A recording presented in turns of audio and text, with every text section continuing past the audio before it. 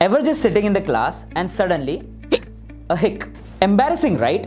Let's try to find out why your body randomly turns into a sound machine. Hiccups happen when the diaphragm, the muscle which is present below your lungs, spasm without warning. And that spasm closes your vocal cord shut, causing the hic sound. What are the triggers you may ask?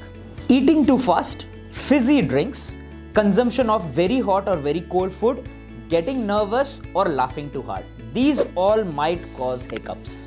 These irritate the vagus or the phrenic nerve causing the diaphragm to spasm. So let me tell you how you can outsmart the hiccup like a pro. You can hold your breath to calm your diaphragm. You can drink cold water slowly to reset the nerve signals. Eat a spoonful of honey or sugar to relax the throat nerves. You can hug your knees or lean forward to again relax your diaphragm. You can breathe into a paper bag which increases the CO2 concentration, settling the spasms. Hiccups no, just your diaphragm glitching out. But now you have the science to silence it. Stay curious, stay clever.